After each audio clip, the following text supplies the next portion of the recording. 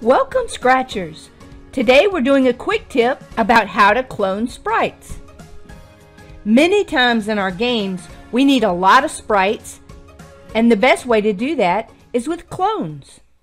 These are the three blocks that you'll need when creating a clone.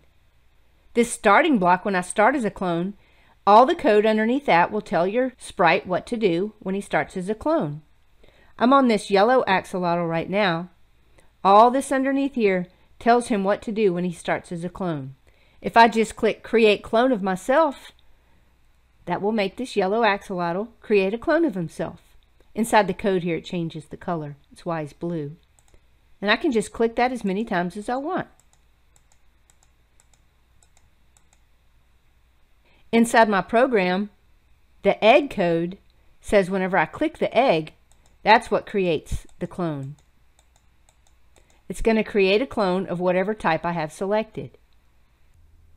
Let's start with something simpler. So we just have some basic code to make this axolotl do something. But instead of creating one when the green flag is clicked, we want to do clones. Clones are under the control blocks. And when I start as a clone, I want to do all this. Just drag the code from when green flag clicked over to when I start as a clone. And the way you start a clone is by creating a clone. Since the code is in with this purple axolotl, it's going to be a clone of himself. If we wanted it to be in another sprite, we wouldn't have this egg, axolotl egg, create a clone of himself, he's going to create a clone of the purple axolotl. And there I created a clone. I can create another clone. Just create as many as I want. When you get done with a clone, you'll want to use the block delete this clone. But in this case, I'm not done with the axolotl, so I'm not going to delete them. We can just keep creating more. Let's look at some other examples. In my full axolotl game, you'll see that these axolotls have a lot of code when they start as a clone.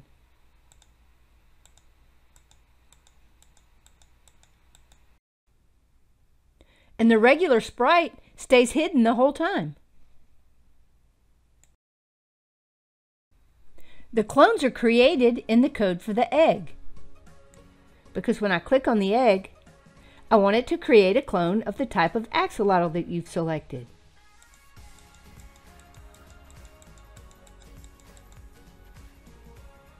In my pizza clicker game, every time you click, a tiny pizza clone flies out.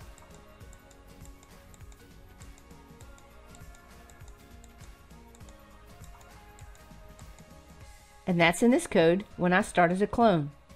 You can watch the full video for how to create this pizza clicker game, but creating the clone is hidden in this dough code.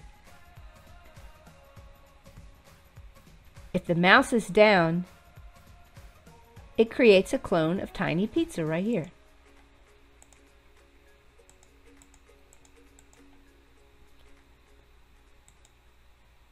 One more example is my breakout game. All of these bricks are drawn by this one sprite. They're all clones.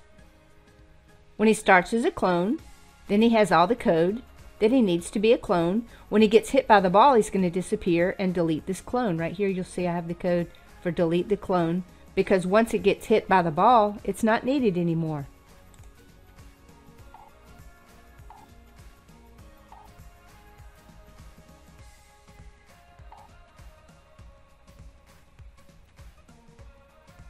Even though there's not an infinite number of blocks that need to be created, I still thought it was best to use clone for this.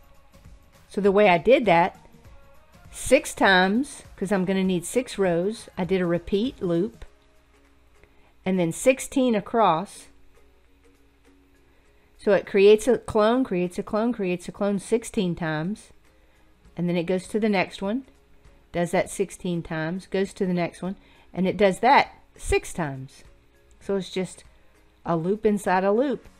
and inside there it creates a clone of myself. Because there's so many blocks that need to be created.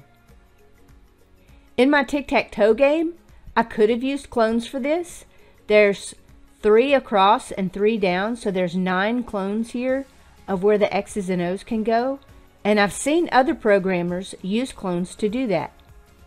But I thought the best way to do that was to just have nine sprites. So I didn't use clones to make the tic-tac-toe game. I hope you've enjoyed this quick tip. Give me a thumbs up and subscribe below. Whenever you have to create a lot of characters, remember to use these three coding blocks to clone your sprite. I'll see you next time. Bye-bye.